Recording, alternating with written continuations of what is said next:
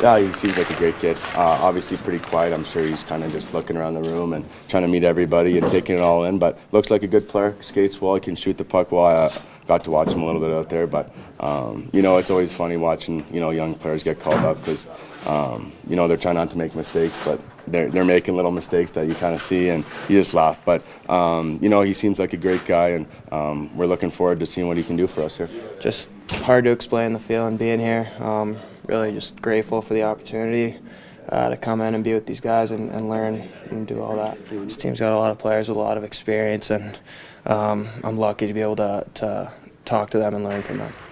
I think it all started to sink in slowly. I think when I walked in here today, it, it really started to sink in and getting to meet the guys and talk to everyone, and it's it's been a really cool day. I think right now for me, it's just coming in, trying to work my hardest, um, help however I can, support all the guys, and and see where it goes from there.